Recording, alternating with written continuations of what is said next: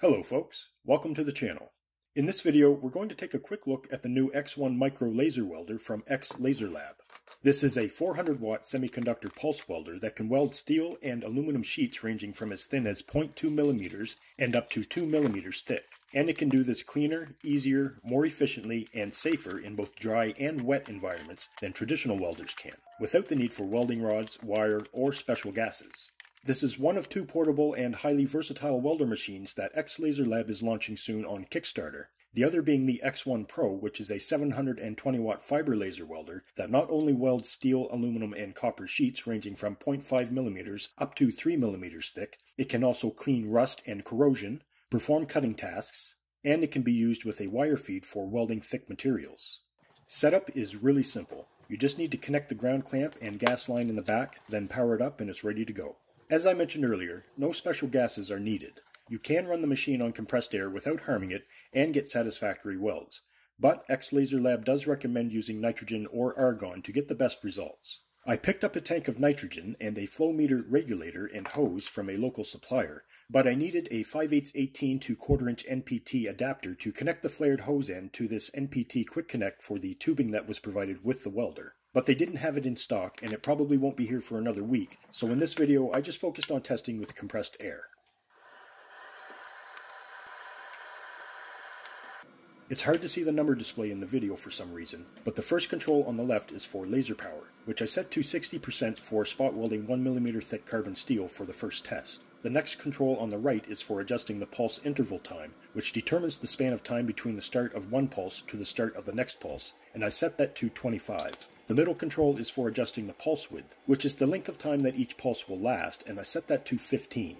The shape of the torch tip pretty much explains how to hold it against the material, and the red button on the side is the laser fire button, which won't fire unless it's in contact with the material. It does emit a red focus dot to help aim the laser beam where it needs to be, because it's so small that it is easy to miss your mark without it. I'm also wearing the provided laser shielded glasses to protect my eyes. You'll notice that there is a bit of soot produced during the welding process, kind of like you would see with flux core, but it brushes off in seconds and there's absolutely no smoke or toxic fumes or smells of any kind being released into the air, and no spatter or any other sort of mess being made. These spot welds seem to work okay. Again, there's no filler material being used. The welds are only about a millimeter wide and a bit hard to see in the video, but they look really clean.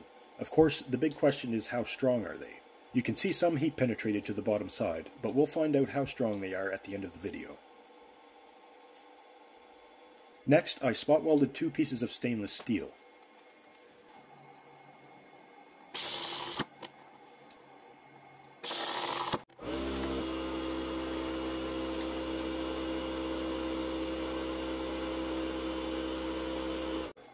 In the second attempt, I tried traditional spot welding, but I fired the torch for too long with too much power and ended up burning clean through the material. But that just means it has the potential for good penetration. It's just a matter of using the right settings and speed. Next, I tried running some continuous weld beads by moving at a slower speed to overlap the pulses, which worked out really well.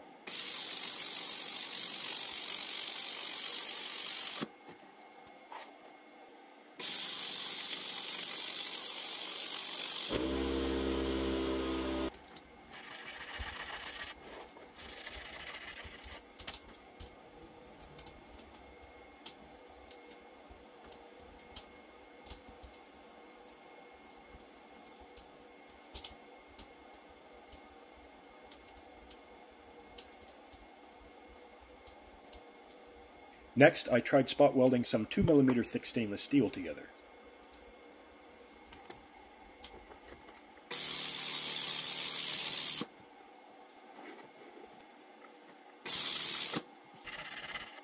The settings that I used for this thicker material was 80% for power, 40 for pulse interval, and 20 for pulse width.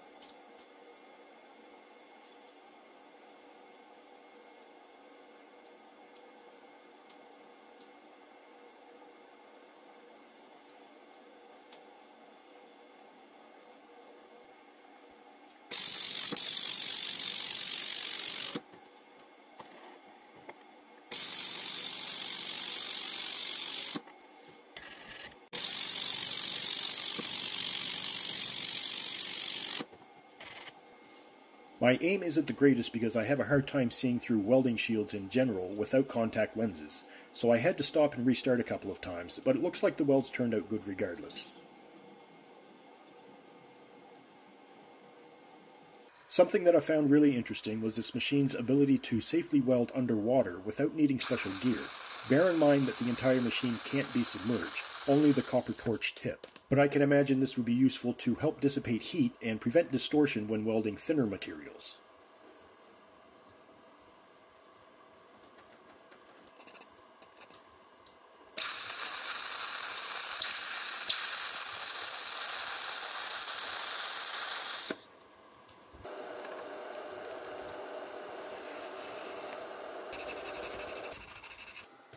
Again, I had an especially hard time seeing what I was doing without contacts, compounded by light refracting under the water. You can see the first weld seemed to work good, but it missed the mark completely, and the second weld resembles a bad flux core weld. But I managed to compensate for the image distortion and run a good bead on the third attempt.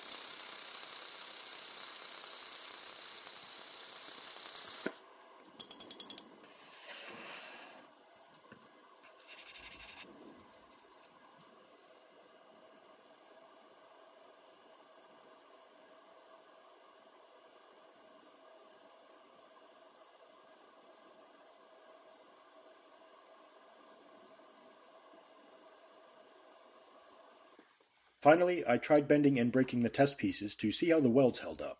This was the first piece that was spot welded.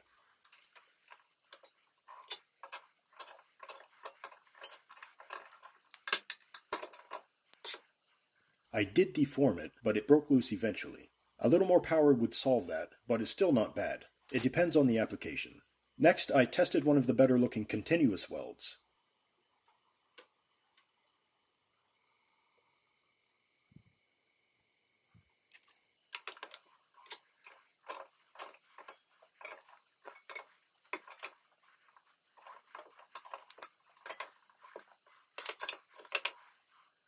You can see that overlapping the pulses not only creates a continuous bead like you would see with TIG welding, but it also concentrates more power and heat into a given area so the laser can penetrate deeper and produce a stronger weld. I'm pretty happy with this. A bit more fine tuning of the settings and it would be unbreakable by hand. Next, I tried the spot welded 2mm thick steel and it broke apart without too much force, as I expected. But the continuous welds were very strong. The steel would bend and break under fatigue before the welds did, assuming that my arms didn't give out first.